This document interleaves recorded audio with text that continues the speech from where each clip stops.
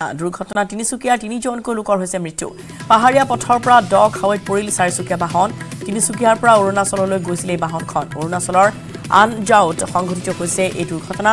দুৰ্ঘটনাগ্ৰস্ত বাহনখনৰ নম্বৰ হৈছে A S two three A D seven three six zero' নিহত তিনিওজন মাকুম ৰোডৰ ৰাজাপতি গেৰেজৰ কৰ্মচাৰী। নিহত তিনি কৰ্মচাৰীৰ মৃতদেহ উদ্ধাৰ কৰা হৈছে। পুনৰবাৰ জনাইছোঁ যে অৰুণাচল প্ৰদেশত এক ভয়ংকৰ পথ দুৰ্ঘটনা সংঘটিত হৈছে। দুৰ্ঘটনাত তিনিচুকীয়াৰ তিনিজনকৈ লোকৰ হৈছে মৃত্যু। পাহাৰীয়া পথৰ পৰা দ খাৱৈত পৰিল চাৰিচকীয়া বাহনখন। তিনিচুকীয়াৰ পৰা অৰুণাচললৈ গৈছিল এখন বাহন। অৰুণাচলৰ আনজাউত সংঘটিত হৈছে দুৰ্ঘটনা। দুৰ্ঘটনাগ্ৰস্ত বাহনখনৰ number A S two three A D seven three six zero' নিহত তিনিওজন মাকুম ৰোডৰ ৰাজাপতি গেৰেজৰ কৰ্মচাৰী। নিহত তিনি কৰ্মচাৰীৰ মৃতদেহ উদ্ধাৰ কৰা হৈছে। অৰুণাচলত এই ভয়ংকৰ পথ দুৰ্ঘটনা সংঘটিত হৈছে। আৰু ইতিমধ্যে এই দুৰ্ঘটনাত তিনিচুকীয়াৰ তিনিজনকৈ লোকৰ মৃত্যু হোৱা ঘটনাই এতিয়া শোকৰ চাহ পৰিছে তিনিচুকীয়াত য'ত পাহাৰীয়া পথৰ পৰা এই চাৰিচকীয়া বাহনখন দ খাৱৈত বাগৰি পৰে। য'ত আছিল তিনিচুকীয়াৰ এই যাত্ৰীসকল। তিনিচুকীয়াৰ পৰা তেওঁলোক অৰুণাচললৈ গৈ আছিল আৰু সেই সময়ছোৱাতেই মাজ পথতে সংঘটিত হৈছে এই দুৰ্ঘটনাটি।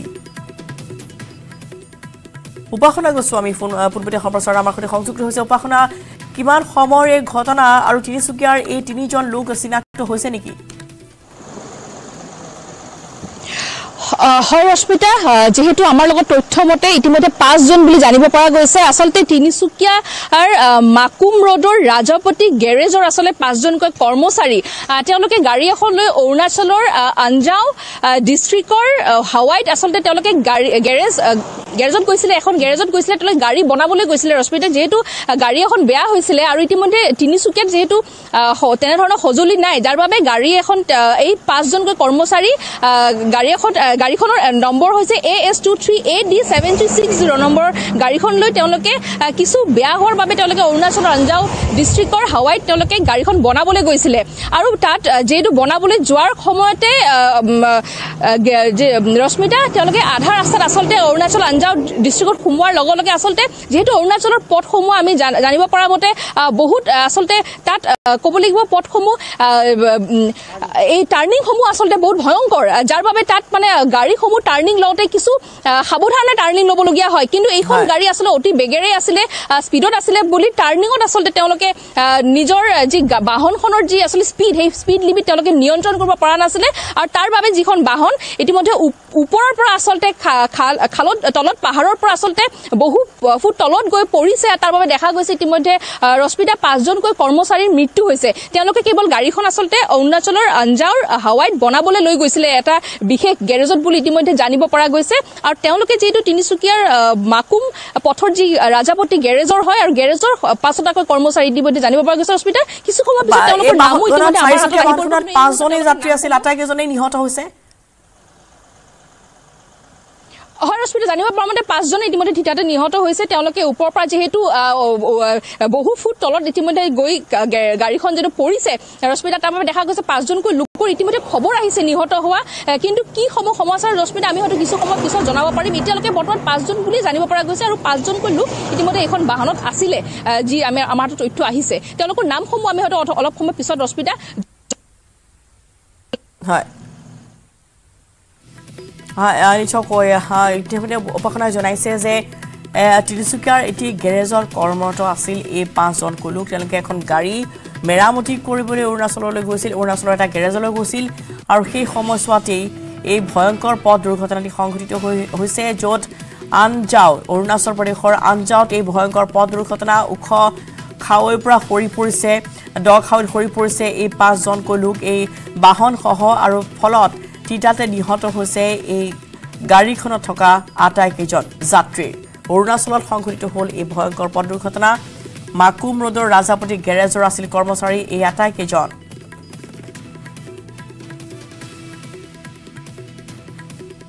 উপাসনা হয় আমি পুনৰ আপোনাৰ পৰা জানিব বিচাৰিছোঁ। ইতিমধ্যে আপুনি জনাইছে যে পাঁচজনেই গেৰেজৰ কৰ্মচাৰী আছিল এখন বাহন তেওঁলোকে মেৰামতি কৰিবলৈ গৈছিল। গতিকে পাঁচজনে ইতিমধ্যে নিহত হৈছে উপাসনা। কিন্তু আচলতে কিহৰ বাবে ঘন কুঁৱলীৰ বাবে নে আচলতে দুৰ্ঘটনা কিহৰ বাবে সংঘটিত হ'ল কাৰণ জানিব পৰা গৈছে নেকি? হয় ৰশ্মিতা এটা কথা ক'ব লাগিব যিহেতু অৰুণাচলৰ যেতিয়া আমি তিনিচুকীয়াৰ পৰা যিটো আহ, নামচাই হৈ যিটো অৰুণাচললৈ যোৱা যায় আৰু তাত যিটো ক'ব লাগিব অৰুণাচলৰ যিসমূহ ৰাস্তা আছে পথসমূহ যিটো পাহাৰৰ উচ্চতাত উঠিবলগীয়া হয় তাৰ বাবে ৰশ্মিতা টাৰ্ণিঙৰ ওপৰত টাৰ্ণিং আচলতে তাত আছে এটা টাৰ্ণিং পাৰ হৈ বাৰটা টাৰ্ণিং অতি পটককে আচলতে পোৱা যায় সেইখিনি ঠাইত আৰু অতি ভয়ংকৰ ৰাস্তা কিন্তু পথবোৰ যিহেতু সৰু সৰু হয় আৰু টাৰ্ণিং বহুত কিন্তু সেইখিনি সময়ত টাৰ্ণিং লওঁতে আচলতে ৰশ্মিতা অতি সাৱধানেৰে ল'বলগীয়া হয় কিন্তু তেওঁলোকে জানিব পৰা মতে গাড়ীখন কিছু বেগেৰে আছিল তাৰ বাবে আচলতে তেওঁলোকৰ টাৰ্ণিঙত শ্লিপ খাই আচলতে ওপৰৰ কা- পাহাৰৰ পৰা আচলতে বাগৰি পৰিব পৰিছে বুলি ইতিমধ্যে জানিব পৰা গৈছে। কিন্তু তেওঁলোকে আচলতে এখন বাহন বনাবলৈহে অৰুণাচললৈ গৈছিলে ৰশ্মিতা। আৰু তেওঁলোকে ৰাজাপতিৰ মাকুম গেৰেজৰ হয় তিনিচুকীয়াৰ বুলি ইতিমধ্যে আমালোকৰ হাতত এই তথ্য আহি পৰিছে। নামসমূহ হয়তো আমি কিছু সময় পিছত জনাবলৈ পাৰিম ৰশ্মিতা। যিহেতু আমাৰ সমূহত এই এই আমাৰ ওচৰত এই তথ্য আছে কিন্তু তেওঁলোকে পাঁচজনকৈ কৰ্মচাৰীয়ে আছিলে। আৰু তেওঁলোকে গাড়ীখন যিহেতু মেৰামতিৰ বাবে আচলতে অৰুণাচললৈ গৈছিলে যিটো তিনিচুকীয়া তেনেধৰণৰ গেৰেজ নাই বা সেই পাৰ্টছসমূহ পোৱা নাযায়। অৰুণাচলতো বহুত পাৰ্টছ আচলতে এভেইলেবল হয়। তাৰ বাবে গৈছিলে। সেয়া এটা কথা জানিব পৰা গৈছে ৰশ্মিতা। নিশ্চয়কৈ ধন্যবাদ জনাইছোঁ পাখন আপোনালোকৰ অৰুণাচলত এই ভয়ংকৰ পথ দুৰ্ঘটনা য'ত পাঁচজনকৈ যাত্ৰী ইতিমধ্যে নিহত হৈছে আৰু ইতিমধ্যে দ খাৱৈ পৰি গৈছে পাঁচজনকৈ লোক আৰু ওখ স্থানত পৰাৰ পিছতেই ওখ স্থানৰ পৰা পৰাৰ পিছতেই ইতিমধ্যে যিহেতু অকোৱা পকোৱা আছিল সেই ৰাস্তা। অৰুণাচলৰ নানজাওত এই ভয়ং- ভয়ংকৰ দুৰ্ঘটনা সংঘটিত হৈছে য'ত পাঁচজনকৈ যাত্ৰী ইতিমধ্যে তাতে নিহত হ'ল। মাকুম ৰোডৰ ৰাজাপতি গেৰেজৰ আছিল কৰ্মচাৰী আটাইকেইজন। ইতিমধ্যে মৃতদেহ উদ্ধাৰ কৰা হৈছে পাঁচ কৰ্মচাৰী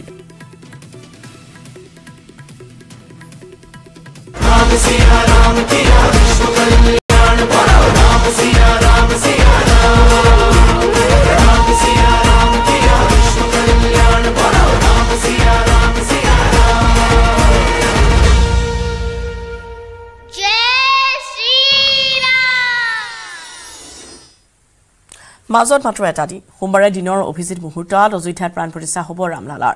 বহু প্ৰতীক্ষিত ৰাম মন্দিৰ মুকলিৰ প্ৰাকখনত উচ্চমুখৰ হৈ পৰিছে সমগ্ৰ দেশ। চৌদিশে কেৱল গুঞ্জৰিত হৈছে জয় শ্ৰীৰাম ধ্বনি। উথপ থপ ৰামনগৰী অযোধ্যালৈ সোঁত বৈছে বিভিন্ন প্ৰান্তৰ ভক্তপ্ৰাণ ৰাইজৰ।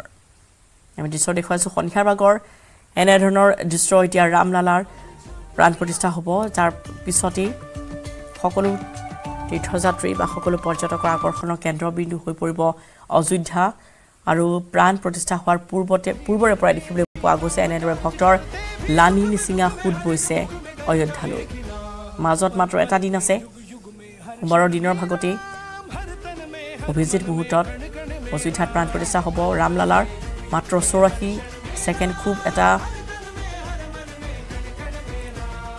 ভাল মুহূৰ্ত আৰু সেই মুহূৰ্ততেই প্ৰাণ প্ৰতিষ্ঠা কৰা হ'ব ৰামলালাৰ আৰু তাৰ প্ৰাকখনত এনেদৰে অযোধ্যাত এক উচ্চমুখৰ পৰিৱেশে বিৰাজ কৰা পৰিলক্ষিত হৈছে দেশ বিদেশৰ লগতে বিভিন্ন প্ৰান্তৰ ভক্তপ্ৰাণ ৰাজ্যৰ আগমন ঘটিছে এনেদৰে ভক্তৰ লানি নিচিঙা সোঁত বৈছে অযোধ্যালৈ गजब दृश्य देखने लायक है यहाँ पे आने के बाद में बहुत अच्छा लग रहा है हमको अब वापस जाने का मन नहीं हो रहा है ऐसा लग रहा है कि हम तेईस को हमारी रिटर्न टिकट है उसके बाद भी हम यही रहना चाहते हैं अभी हाँ बिल्कुल हम दर्शन अवश्य करके जाएँगे। अयोध्या बड़ी दिव्य और नव्य सजी हुई है। माननीय मुख्यमंत्री योगी आदित्यनाथ जी ने जो सजा दिया है इस अयोध्या को कि आज ये महसूस हो रहा है हम लोगों को कि जैसे त्रेता युग में भगवान अवतरित हुए थे, जो दिव्य, अद्भुत वातावरण उस समय का रहा, वही दिव्य और अद्भुत वातावरण आज हम लोगों को दिखाई पड़ रहा है इस भव्य दिव्य अयोध्या नगरी में। আৰু উথপ থপ ৰামনগৰলৈ ইতিমধ্যে এতিয়া ভক্তপ্ৰাণ ৰাজ্যৰ আগমন ঘটা পৰিলক্ষিত হৈছে। দেশৰ বিভিন্ন প্ৰান্তৰ পৰা এই মুহূৰ্তত মোৰ সতীৰ্থ গীতাশ্ৰী যিহেতু তাত অযোধ্যাত উপস্থিত আছে। গীতা গীতাশ্ৰী আপুনি ইতিমধ্যে পুৱাৰ পৰা দেখুৱাই আছে খুব সুন্দৰ এক পৰিৱেশ। আৰতিৰ মুহূৰ্ত আপুনি দেখুৱালে আৰু এই মুহূৰ্তত আপুনি ক'ত উপস্থিত আছে অযোধ্যাৰ আৰু তাৰ এই মুহূৰ্তৰ পৰিৱেশ আমি আপোনাৰ পৰা জানিব বিচাৰিছোঁ। মই এই মুহূৰ্তত এই মূল পথছোৱাত উপস্থিত আছো যি পথেৰে আচলতে আগবাঢ়িব পাৰি ৰাম মন্দিৰলৈকে আৰু এই পথছোৱাত এয়া এয়া নিশা ন বাজি গৈছে। এনেকৈ ভিৰ। হয়তো ভিৰ মাজে সময়ে ইয়াতকৈ আৰু বাঢ়ে। ইয়াতকৈ ভিৰ নকমে ইয়াতকৈ বাঢ়ে। আৰু এয়া নিশা নিশা হয়তো দহ চাৰে দহ বজালৈকে কালিও আমি দেখিছিলো এই ধৰণৰ এটা ভিৰ আছিলে। বিভিন্ন ঠাইৰ পৰা ইয়াত ভক্তসকল আহিছে আৰু ভক্তসকলৰ মনত এটাই কথা যে দিব্য হৈ পৰা এই পৰিৱেশ বা এক ডাঙৰ এক পৰিসৰত যি এক অযোধ্যা সজাই পৰাই তোলা হৈছে। সেইজোপা গছেই চাওক তাত কি ধৰণে তাত বিভিন্ন ধৰণৰ আলোকৰ তাত মায়াজালৰ সৃষ্টি কৰা হৈছে বা আলোকৰ তাত খেল হৈছে। আমি। অযোধ্যাৰ গলিয়ে গলিয়ে কেইটামান গলিৰ মাজেৰে আমি যাবলৈ আমি গৈছিলো আৰু তাত দেখিছো মন্দিৰ। ইয়াত যি ধৰ্মীয় অনুষ্ঠান বা মন্দিৰৰ অসংখ্য মন্দিৰ আৰু ধৰ্মীয় অনুষ্ঠান আছে। ৰশ্মিতা আৰু ইয়াত সেই প্ৰত্যেক তেনেকুৱা ধৰ্মীয় অনুষ্ঠান আৰু যি মঠ মন্দিৰবোৰ আছে তাত যিসমূহ আশ্ৰম জাতীয় অনুষ্ঠান আছে তাত দেখা গৈছে যে লাইটেৰে সজাই তোলা- তোলা হৈছে। বিভিন্ন ধৰণৰ লাইটেৰে সজাই তোলা হৈছে আৰু এই লাইটেৰে সজাই ঘৰবোৰো তোলা হৈছে। আৰু অৰ্থাৎ অৰ্থাৎ গীতাশ্ৰী কেৱল উত্তৰ প্ৰদেশ চৰকাৰেই নহয় তেওঁলোকে নিজাববীয়াকৈ এই দীপাৱলীৰ আয়োজন কৰিছে অযোধ্যাবাসীয়ে সম্ভৱতঃ সম্ভৱতঃ কিয়নো আমি দেখিছো যে হয় কিছু কিছু পথত যি ঘৰসমূহৰ ৰং সেয়া এক ধৰণৰ আমি দেখিছো।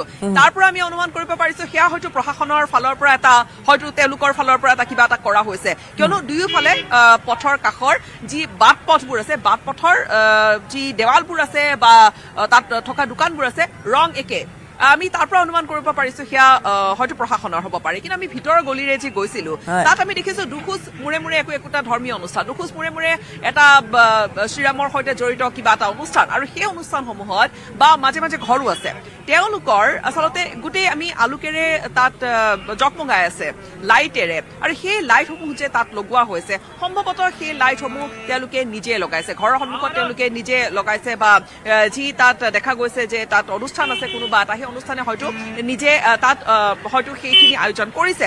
আমি অনুমান কৰিব পাৰো। যি নহওক অযোধ্যা ৰামময় অযোধ্যা। ইয়াত যিসকলে আহিছে তেওঁলোকে ৰাম ৰাজ্যৰ কথা কৈছে। তেওঁলোকে কৈছে যে ত্ৰেতা যুগৰ তেওঁলোকৰ এটা সেই যুগৰ নহয়। তেওঁলোকে এই মুহূৰ্তত যেন তেওঁলোকে ত্ৰেতা যুগত আছে তেওঁলোকে যেন ত্ৰেতা যুগৰ সেই এটা পৰিৱেশৰ মাজত তেওঁলোকে সোমাই পৰিছে ভগৱান শ্ৰীৰামচন্দ্ৰক কোৱা হয় বা শ্ৰীৰামক কোৱা হয় যে আহ, এ- যে যে ধৰ্মই বিগ্ৰহৰ ৰূপ লৈছে তেনেকুৱা এষাৰি কথাও আছে। আৰু সেই কথাখিনিকে ইয়াত থকা যি সাধু সন্ত আধ্যাত্মিক গুৰুসকল তেওঁলোকে বিশেষকৈ কৰিছে। আৰু আধ্যাত্মিক গুৰু আমি দেখিছো যে কেৱল যে উত্তৰ ভাৰতৰ বা মধ্যপ্ৰদেশৰ বা ছত্তীশগড়ৰ তেনেকুৱা স্থানৰ পৰা আধ্যাত্মিক গুৰুসকল গৈছে তেনেকুৱা নহয় এই এই স্থানৰ পৰা বিভিন্ন বিভিন্ন স্থানৰ পৰা এইসকল আহ, আহিছে এইসকল ভক্ত আহিছে আধ্যাত্মিক গুৰু আহিছে আৰু এই আধ্যাত্মিক গুৰুসকল এই যি সাত হাজাৰৰ পৰা ন হাজাৰ মান যি লোক বাইছ তাৰিখে প্ৰাণ প্ৰতিষ্ঠাৰ দিনা উপস্থিত থাকিব তেওঁলোকৰ মাজৰো অন্যতম তেওঁলোক। ডাঙৰ ডাঙৰ যিসকল পৃথক স্থানৰ বা তেওঁলোকে তেনেকুৱা অনুষ্ঠানৰ সৈতে জড়িত তেওঁলোক আহিছে। তাৰ সমান্তৰালকৈ আন যিসকল বিভিন্ন স্থানৰ পৰা আহিছে আমি দেখিছো যে তামিলনাডুৰ পৰা মানুহ আহিছে। আমি দেখিছো যে অন্ধ্ৰপ্ৰদেশৰ পৰা মানুহ আহিছে। আমি লগ পাইছো মহাৰাষ্ট্ৰৰ অনেকজন অনেকজনক আমি মহাৰাষ্ট্ৰৰ পৰা আমি লগ পাইছো। আৰু সম্ভৱতঃ এই মুহূৰ্তত ইয়াত এই বীণা চকত আছো বা লতা মংগেশকাৰ চকত আছো বীণাখন আমি দেখুৱাই আছো মাজে সময়ে। আমাৰ দৰ্শকে হয়তো এই বীণাখনৰ সৈতে পৰিচিত হৈছে যে অযোধ্যাৰ এটা মূল এটা হয়তো চৌক হ'ব বা মূল এটা স্থান হ'ব য'ত এই বীণাখন আছে। আমাৰ দৰ্শকে হয়তো আমাৰ ভিজুৱেলছ দেখি সেইখিনি কথা এটা অনুমান কৰি আছে বা আমি পোনপটীয়া সম্প্ৰচাৰো কৰি গৈ আছো। এতিয়া সেই স্থানডোখৰত বা এই এই গোটেই অনুষ্ঠানসমূহত এই ধৰণৰ এটা ভিৰ আৰু বহুখিনি সাধু সন্তক আমি লগ পাইছো। বিভিন্ন ঠাইৰ পৰা আহিছে। তেওঁলোকে ৰাম নামত হয়। আহ, ডুব গৈছে। ৰাম কথা শুনা গৈছে। আৰু আপুনি নিশ্চয় খালি কথা- গীতাশ্ৰীৰ লগতে অসমৰ পৰা যি সত্ৰাধিকাৰসকল গৈছে মাজুলীৰ পৰা সত্ৰাধিকাৰসকল গৈছে তেওঁলোকৰ সৈতেও আপুনি লগ কৰিছিল। তেওঁলোকৰ কেনেধৰণৰ প্ৰতিক্ৰিয়া দেখিবলৈ পোৱা গৈছে? আমি আমি তেওঁলোকৰ ভাষ্য আগবঢ়াই লৈছোঁ তাৰপিছত পুনৰ যাম গীতাশ্ৰী আপোনাৰ সৈতে।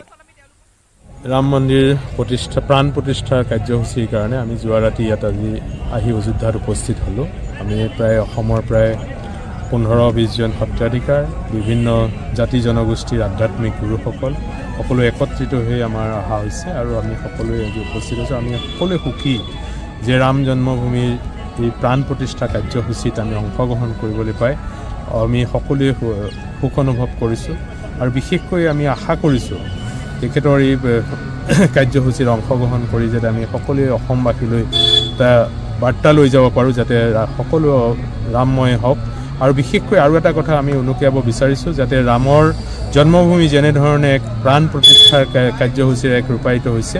আৰু তেনেদৰে যাতে আমি শংকৰ মাধৱ গুৰুকেইজনাৰ মহান সংস্কৃতিৰে যিহেতু সকলো আদৰ্শৰে আগবঢ়া আৰু তেখেতৰ বিশেষকৈ কৃষ্ণৰ জন্মভূমি মথুৰাও যাতে আমি এক সুন্দৰ ৰূপত এনে এটা পৰিৱেশত পাব পাৰোঁ তাৰ কাৰণেও আমি এই সুযোগতে আহ্বান জনাম আৰু যাতে প্ৰধানমন্ত্ৰী ডাঙৰীয়াই এই ক্ষেত্ৰতো বিশেষ পদক্ষেপ লোৱাৰ কাৰণে আমি আজি এই সুযোগতে আহ্বান জনাইছোঁ। আৰু এয়া মাজুলীৰ সত্ৰাধিকাৰ তেওঁলোকৰ সৈতে কথা পাতিছে গীতাশ্ৰীয়ে তেওঁলোকে ইতিমধ্যে উল্লেখ কৰিছে। যিহেতুকে কালি গৈ পাইছে গৈ আৰু অযোধ্যালৈ এনেদৰে আচলতে কেৱল অসমৰ সত্ৰাধিকাৰী নহয় অসমৰ বহু কেইগৰাকী ভক্তও ইতিমধ্যে তাত গৈ উপস্থিত হৈছে। গৈ কোনোৱে হয়তো কৰ্মসূত্ৰ এটা আছিল বা আন কোনোৱে এনেদৰে এতিয়া সেই যাত্ৰা কৰি অযোধ্যাত গৈ উপস্থিত হৈছে কোৱা হয় গীতাশ্ৰী সত্ৰাধিকাৰসকল তাত উপস্থিত হৈছে গৈ এক আধ্যাত্মিক পৰিৱেশ অসমৰ পৰাও বহু সংখ্যক ভক্তৰ ইতিমধ্যে অযোধ্যালৈ আগমন ঘটা পৰিলক্ষিত হৈছে। গীতাশ্ৰীয়ে হয় বিভিন্নজন ব্যক্তি ইয়াত সমাগম ঘটিছে। আমি সত্ৰাধিকাৰৰ ভাষ্য ইতিমধ্যে আগবঢ়াইছো। তেনেকৈ কেৱল অসমৰ ইমূৰৰ মাজুলী বুলিয়ে নহয় বিভিন্ন ঠাইৰ পৰা ইমূৰৰ পৰা সিমূৰলৈকে বিভিন্নজন গৈছে বিভিন্নজন ইয়াত আহি উপস্থিত হৈছেহি আৰু তেওঁলোকে এই যি এটা পৰিৱেশ এই পৰিৱেশৰ মাজত বিলীন হৈছে। আৰু যি অনুষ্ঠান আছে বাইছ তাৰিখৰ অনুষ্ঠানৰ বাবে আয়োজন আমি ইতিমধ্যে আমি দৰ্শকক আমি জনাই গৈ আছো। চৌৰাশী ছেকেণ্ডৰ এই বিশেষ মুহূৰ্ত বাৰ বজাৰ পিছতে আৰম্ভ হৈ যাব অনুষ্ঠান প্ৰাণ প্ৰতিষ্ঠাৰ সেই মূল অনুষ্ঠান হ'ব আৰু সেই প্ৰাণ প্ৰতিষ্ঠাৰ অনুষ্ঠানত বাৰ বাজি পঞ্চল্লিছ মিনিটলৈকে সেই অনুষ্ঠান হ'ব। তাৰপিছত প্ৰধানমন্ত্ৰীগৰাকীয়ে হয়তো ভাষণ আগবঢ়াব সম্বোধন কৰিব। আৰু এই যি আধা ঘণ্টাৰ যি সময় বাৰ বাজি পাঁচ মিনিট মানৰ পৰা এই বাৰ বাজি পঞ্চল্লিছ মিনিটলৈকে। মূলতঃ সময়খিনি বাৰ বাজি পোন্ধৰ মিনিটৰ পৰা বাৰ বাজি পঞ্চল্লিছ মিনিটলৈকে আৰু এই সময়ছোৱাখিনি চৌৰাশী ছেকেণ্ড অতি গুৰুত্বপূৰ্ণ বুলি কোৱা হৈছে আৰু সেই চৌৰাশী ছেকেণ্ডৰ মাজতে এই বিগ্ৰহ প্ৰতিষ্ঠা হ'ব প্ৰাণ প্ৰতিষ্ঠা হ'ব। আৰু এই যি আনুষ্ঠানিক ৰীতি নীতি ষোল্ল জানুৱাৰীৰ পৰা অব্যাহত আছে আমি জনাই গৈ আছো আমাৰ দৰ্শকক। আনুষ্ঠানিকভাৱে যিখিনি পৰ্ব সেয়া চলি আছে অধিবাসসমূহ চলি আছে। আৰু এতিয়া অপেক্ষা বাইছ জানুৱাৰী সেই মুহূৰ্তখিনিলৈকে।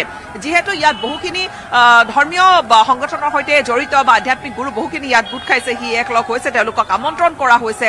এই তীৰ্থ ক্ষেত্ৰ তেওঁলোকক ন্যাসৰ ফালৰ পৰা তেওঁলোকক আমন্ত্ৰণ কৰা হৈছে। তেওঁলোকে বিভিন্ন আলোচনা চক্ৰ বা কিছু কিছু কাৰ্যসূচী তেওঁলোকেও ভাগ লৈছে আমি কথা পাতিছিলো তেওঁলোকৰ সৈতে তেওঁলোকৰো কিছু কিছু অনুষ্ঠান আছে। আৰু এয়াই এনেকৈ দেখা গৈছে ৰামময় অযোধ্যাৰ গোটেই পৰিৱেশ সুকীয়া হৈ পৰিছে। আমি যেতিয়া আজি সৰজু ঘাটৰ পাৰত উপস্থিত আছিলো আৰতিৰ সময়ছোৱাত সেয়া এটা খুব মাংগলিক এটা তাত পৰিৱেশ। বিভিন্নজন গৈছিলেগৈ। সাধাৰণতে যদি আমি ধৰি লওঁ দহজন মানুহ থাকে আজি তাত বিশজন মানুহ আছিলে। আমি যদি কওঁ সাধাৰণতে এশ গৰাকী মানুহ থাকে বা দুশ গৰাকী মানুহ থাকে আজি হয়তো তাত পাঁচশ লোক আছিলে। এনেকুৱা এটা পৰিৱেশ কিয়নো দেশৰ বিভিন্ন প্ৰান্তৰৰ পৰা আহিছে দেশৰ বিভিন্ন প্ৰান্তৰৰ পৰা লোকসকল আহিছে আৰু তেওঁলোকে এই এই এটা এটা ঢৌ সৃষ্টি হৈছে। ৰাম নামৰ এই যি ঢৌ আৰু ৰাম নামৰ এই ঢৌত এই ধৰণে আমি দেখুৱাইছো। মই কিছু সময় পূৰ্বে কৈছিলো যে মাজে মাজে ভিৰ যথেষ্ট বাঢ়ে আৰু এতিয়া ভিৰ আকৌ বাঢ়িছে। ভিৰ বাঢ়িছে এই যে লতা মংগেশকৰ চক ইয়াত এতিয়া প্ৰায় শৰ ওপৰত শ শ মানুহ ইয়াত উপস্থিত আছে। অৰ্থাৎ নিশা এনেকৈ থাকিব আৰু কেৱল এনেকুৱা নহয় যে ইয়াত পুৰুষসকল আছে বা মহিলাসকল আছে। ইয়াত যুৱ চামৰ আমি বহুখিনি প্ৰতিনিধি দেখিছো। ইয়াত যুৱক যুৱতী আমি ভালেখিনি দেখিছো বা উঠি অহা প্ৰজন্মৰ বহুখিনি দেখিছো। আমি কণ কণ শিশুক লগ পাইছো। হাতত একো একোখন ৰামৰ ছবি লৈ তেওঁলোক ওলাই আহিছে।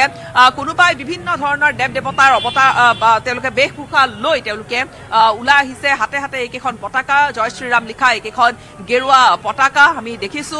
আৰু কাটাউট ডাঙৰ ডাঙৰ ৰামৰ শ্ৰীৰামৰ পতাকা বা ভগৱান ৰামৰ এয়া কাটাউট আমি দেখা পাইছো। আৰু এই যি লতা মংগেশকৰ চক বা এই যি বীণাখন ইয়াত অহৰহ গীত মাত অনুষ্ঠান চলি আছে বা ইয়াত ভজন কীৰ্তন এই ধৰণৰ চলি আছে। আৰু এই ভজন যি আমি অহাৰ সময়খিনিৰ পৰা আমি এই ধৰণে অহৰহ বজি থকা শুনা পাই আছো আমি দেখি আছো। আৰু সেই ভক্তিৰ এটা পৰিৱেশৰ আচলতে ক'বলৈ গ'লে চৰকাৰৰ ফালৰ পৰা সম্পূৰ্ণৰূপে সৃষ্টি কৰা হৈছে। আৰু ইয়াৰ লগতে ৰশ্মিতা আমি নিৰাপত্তাৰ কথাখিনিও ক'ম। আৰক্ষী যথেষ্ট সংখ্যক আৰক্ষী ইয়াত গীজ গিজাই আছে। যথেষ্ট সংখ্যক আৰক্ষী। আৰু হয় নিজকে সেই দৃশ্য আপুনি দেখুৱাই থাকিব গীতাশ্ৰী আমি আপোনাৰ সৈতে সংযুক্ত হৈ থাকিম। ৰাম মন্দিৰৰ মুকলিলৈ মাজত মাত্ৰ এটা দিন বাকী আছে আৰু তাৰ পূৰ্বে এনেদৰে এতিয়া সুন্দৰ আলোকসজ্জাৰে উজ্বলাই তোলা হৈছে অযোধ্যা অযোধ্যা মহানগৰী। এতিয়া এনেদৰে অযোধ্যা নগৰী য'ত ইতিমধ্যে এনেদৰে উজ্বলি উঠিছে বৰ্তমান গংগাৰ তীৰত। এতিয়া এনেধৰণে আলোকৰ আলোকৰে উজ্বলি উঠিছে। লগতে সৰজু নদীৰ ঘাটত আজি এনেদৰে আৰতি কৰাও পৰিলক্ষিত হৈছে। এনেদৰে বিভিন্ন প্ৰান্তৰ পৰা ভক্তপ্ৰাণ ৰাইজৰ আগমন ঘটিছে অযোধ্যালৈ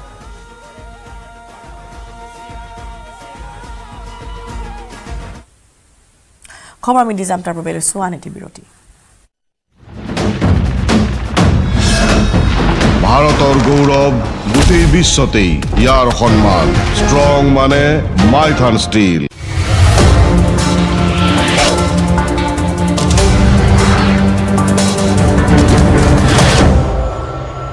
जैक Oliver.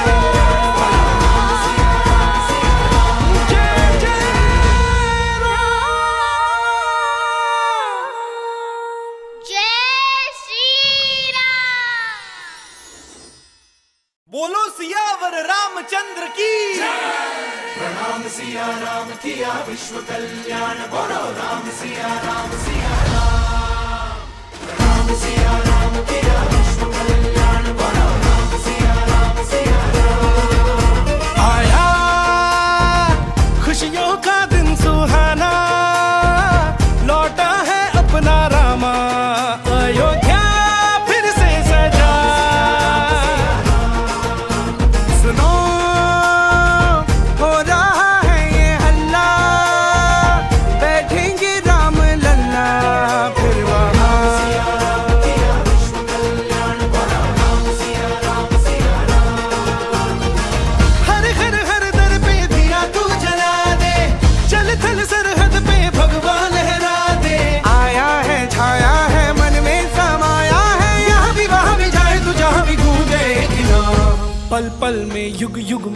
क्षण में राम, हर तन में, हर मन में, कण कण में राम।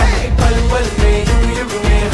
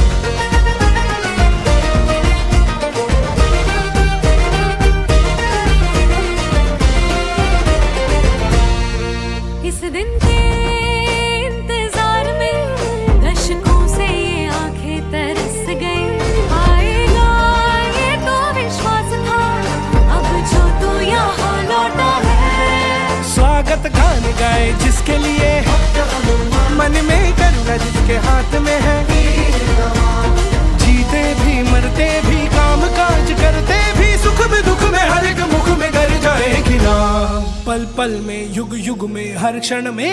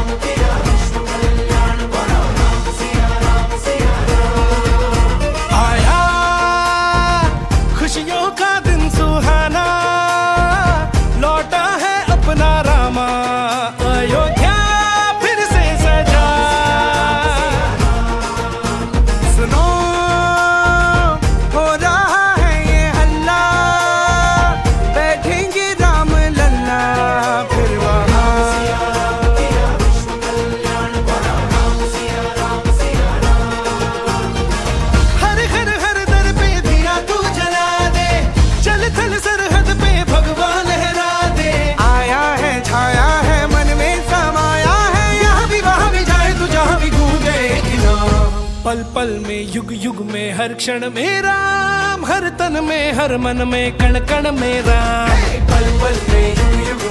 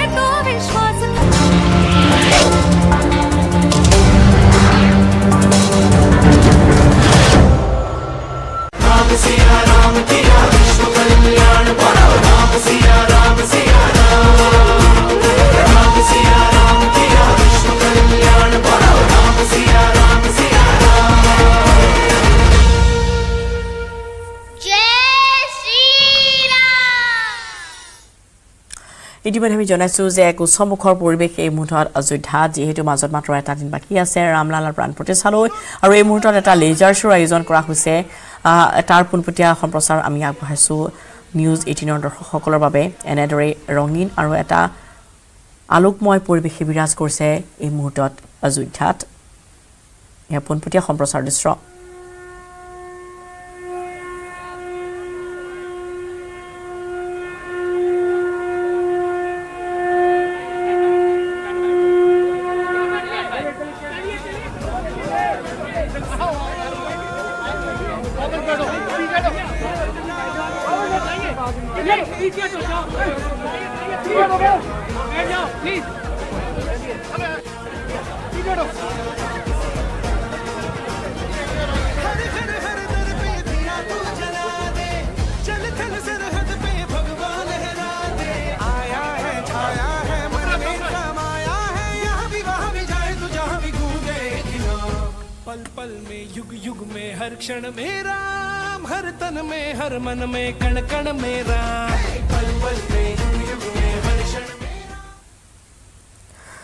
আৰু অযোধ্যাৰ ৰাম মন্দিৰ মুকলিক লৈ গুৱাহাটীতো এক উচ্চ মুখৰ পৰিৱেশে বিৰাজ কৰিছে। মহানগৰীৰ চেণ্ট্ৰেল মলত নিৰ্মাণ কৰা হৈছে চৈধ্য ফুট উচ্চতাৰ ৰাম মূৰ্তি। সোমবাৰে পুৱাৰ পৰা চেণ্ট্ৰেল মলত আয়োজন কৰা হৈছে বিশেষ অনুষ্ঠানৰ। অযোধ্যাৰ ৰাম মন্দিৰ মুকলি পোনপটীয়া সম্প্ৰচাৰ প্ৰদৰ্শিত হ'ব চেণ্ট্ৰেল মলত। ভজন কীৰ্তনৰ লগতে দেখুওৱা হ'ব তথ্যচিত্ৰও। আমি ভাৰতবৰ্ষত আমাৰ ৰামললাৰ ইমান ডাঙৰ এটা অনুষ্ঠান হৈ আছে তো সেইটো কাৰ্যসূচীত আমি গুৱাহাটীত এটা আমাৰ ফালৰ পৰা এটা সৰুকৈ কিবা কৰিব বিচাৰিলোঁ। ইয়াতে আমাৰ ৰাম বাবাক আমি ইয়াতে লগাইছোঁ বহাইছোঁ। আৰু চৌব্বিছ বাইছ তাৰিখে আমি ইয়াতে লাইভ স্ক্ৰীণ এটা লগাম বাহিৰত যাতে প্ৰাণ প্ৰতিষ্ঠা যিটো হ'ব সেইটো আমি ইয়াতে লাইভ দেখাম বাহিৰত আৰু ভিতৰত আমাৰ যেনেকুৱা নাম কীৰ্তন যিটো হ'ব সেইবিলাক চলি থাকিব একৈছ আৰু বাইছ তাৰিখে। কাশীৰ পৰা অযোধ্যালৈ লৈ যোৱা হৈছে ৰামৰ স্বৰ্ণ পাদুকা। অন্নপূৰ্ণা মন্দিৰৰ তৰফৰ পৰা উপহাৰ স্বৰূপে প্ৰদান কৰা হৈছে এই সোণৰ পাদুকা। প্ৰস্থানৰ পূৰ্বে নীতি অনুসৰি অন্নপূৰ্ণা মন্দিৰৰ মহন্ত গোস্বামী শংকৰ পুৰী মহাৰাজে সেই পাদুকা দুহাতত লৈ মন্দিৰৰ পাঁচবাৰ পৰিক্ৰমা কৰে। তাৰ পিছতে মন্দিৰৰ বাহিৰত থকা ভক্তসকলক সেই স্বৰ্ণ পাদুকা দেখুৱাই অযোধ্যালৈ প্ৰেৰণ কৰা হয়।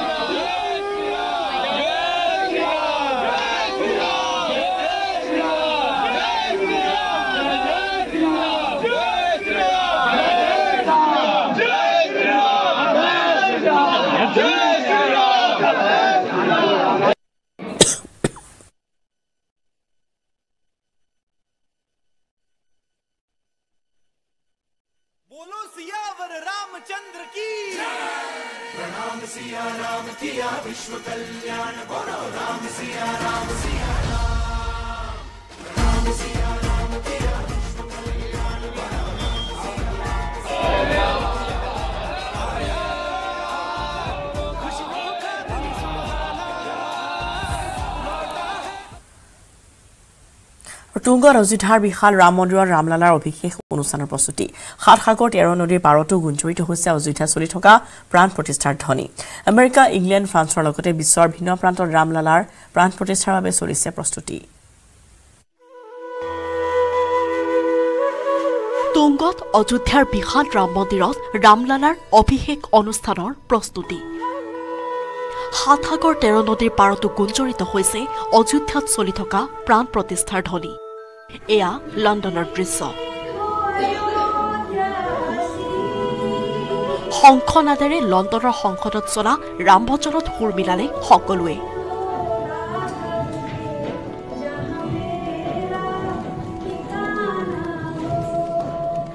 লণ্ডনৰ হাউচ অৱ কমন্সত প্ৰতিফলিত হ'ল ৰাম ভক্তৰ ৰাম ভক্তিৰ নিদৰ্শন।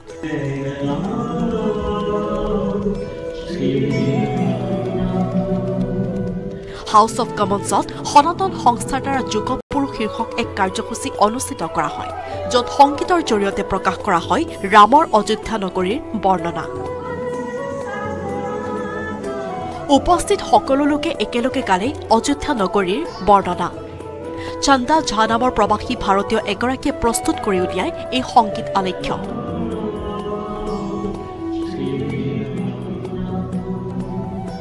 অনুষ্ঠানত মুখ্য অতিথি হিচাপে উপস্থিত থাকে ব্ৰিটিছ সাংসদ বব ব্লেকমেন।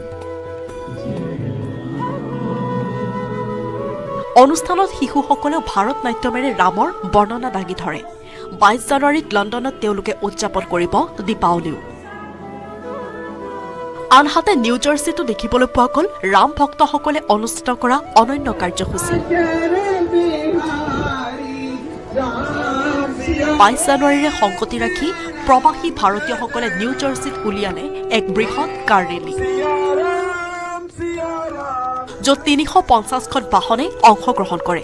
সকলোৱে নিজৰ বাহনৰ আগত আঁৰি ল'লে গেৰুৱা পতাকা।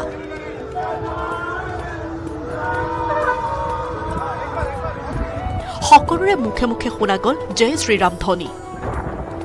আনহাতে হিউষ্টনতো প্ৰৱাসী ভাৰতীয়সকল দলে বলে ওলাই আহি অনুষ্ঠিত কৰিলে কাৰ ৰেলী দিলে জয় শ্ৰীৰাম ধ্বনি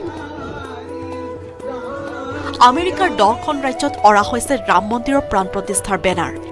বিশ্ব হিন্দু পৰিষদে আমেৰিকাৰ বিভিন্ন প্ৰান্তত থকা সনাতনীসকলক একত্ৰিত কৰি ৰাম জন্মভূমিৰ বাৰ্তা বিলাইছে দেশখনত মৰিছাছ চৰকাৰে বাইছ জানুৱাৰীত ৰাম মন্দিৰৰ প্ৰাণ প্ৰতিষ্ঠাৰ বাবে হিন্দু বিষয়াসকলক দুঘণ্টাৰ বাবে বিৰতিৰ ব্যৱস্থা কৰিছে। যাতে তেওঁলোকেও উপভোগ কৰিব পাৰে প্ৰাণ প্ৰতিষ্ঠাৰ ঐতিহাসিক মুহূৰ্ত। মেৰিলেণ্ডত বিশ্ব হিন্দু পৰিষদে মহাকাব্য ৰামায়ণক লৈ এটা লাইট শ্ব'ৰ আয়োজন কৰে।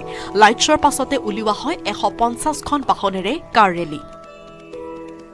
প্ৰাণ প্ৰতিষ্ঠাৰে সৈতে একে সময়তে Boston Washington D C Los Angeles San ফ্ৰান্সিস্কোতো আয়োজন কৰা হৈছে ভিন্ন ভক্তিমূলক কাৰ্যসূচী।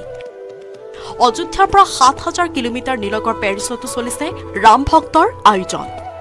প্ৰাণ প্ৰতিষ্ঠাৰ এদিন পূৰ্বে পেৰিছত উলিওৱা হ'ব ৰথযাত্ৰা পেৰিছত বাস কৰা প্ৰৱাসী ভাৰতীয়সকলে আয়োজন কৰিছে এই ব্যতিক্ৰমী কাৰ্যসূচী।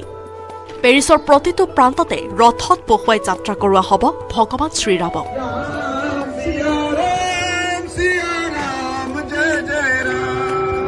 News desk report news eighteen Assam north east.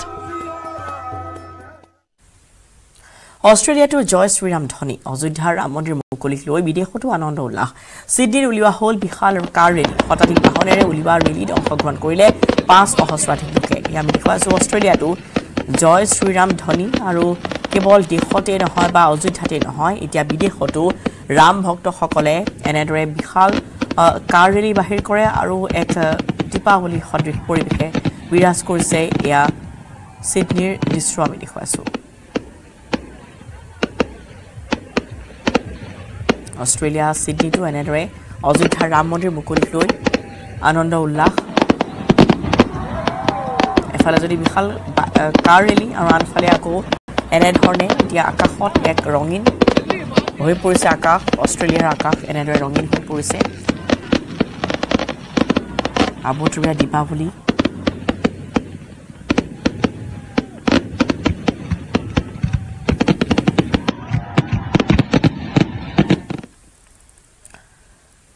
খবৰ দিছা মাত্ৰ সময় হৈছে আন এটি বিৰতিৰ ভাৰতৰ গৌৰৱ গোটেই বিশ্বতেই ইয়াৰ সন্মান ষ্ট্ৰং মানে মাইথান ষ্টীল